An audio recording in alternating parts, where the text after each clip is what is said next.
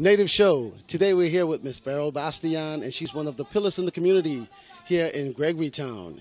This is the 32nd annual Pineapple Festival, and Ms. Bastian has played a significant part over the years. So tell us about some of the history um, that you would have experienced coming down to the Pineapple Festival. Well, it was not just coming down because I actually um, coordinated the pineapple cooking contest Yes. when we had five categories. So that was quite different from what is going on now. And I did everything pertaining to getting sponsors and uh, prizes and everything else. I did that on my own. And that went on for about 28, at least 28 years. And uh, I thought it was just fantastic. I enjoyed doing it. So that is why it, it succeeded uh, to a great degree Yes. and enjoyed it. And that's wonderful. Any of those uh, years, the, the competitions, the experiences back then, what stood out? What event in particular stood out in your mind's eye? Event or just the cooking contest? Well, both actually. Because because you know we have we have the uh, pineapple princesses and they have always been ex- excellent, and the regular pi- pineapple uh, princess. So we had the juniors and we had the senior girls, and that was always fantastic. And I had a granddaughter who won it, and I don't think anybody else compared to it again. But I'm not being that biased. But also the cooking contest was really fantastic because we learned all sort of different stuff. And it's amazing what pineapple can be mixed with and make such a difference. Fantastic. I had a son who did the, the uh, Blackened Conch, which is in, in the, the, the uh, magazine on the Bahamasair, and a daughter who did this the bake stuff grouper with the pineapple uh, stuffing.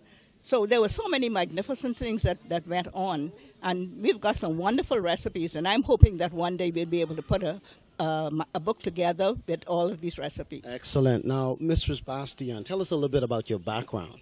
I um, uh, well, I worked at the Bayside, and I worked at the Nassau Beach for 20 years at the Howard Johnsons.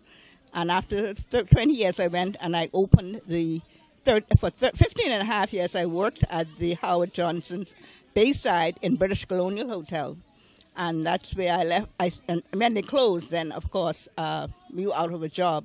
But I've always said that whenever I retire, I will come in Eleuthera to live, and I've been here since '93. 93. Yes, yes. And uh, so you have a tremendous background in hospitality.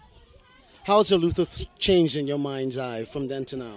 Um, not just Luther. I, I, I really didn't. I wasn't for all of the this move here, but I find it to be so fantastic because you've got room, you've got shelter, and everything else. So we've got to move at the times, and you know we got to accept change and try it before we knock it down. And I am telling you, the hardest working persons is those tourism people that we have in Eleuthera. They work and they work very diligently, and I, it didn't matter to me what I had to do to make a difference. And my my uh, walk through with the Bayside, with the Howard I've been fortunate. I've been to Switzerland, I've been to London, I've been to Ireland, I've been all over the way because of my working with the Howard Johnson's company. So your being an ambassador for tourism has served you well. To a great degree. Yes, ma'am. Very great Yes, degree. Yes. Well, I'm very sure that the persons in tourism want to commend you. Uh, you're still quite a person that is recognized here. And uh, as the old saying goes, they want to give you your flowers and show you that appreciation. And you are to be commended for your service. Thank you ever so much. And I just wish that we had more persons who would come forward because while there's life, there's hope.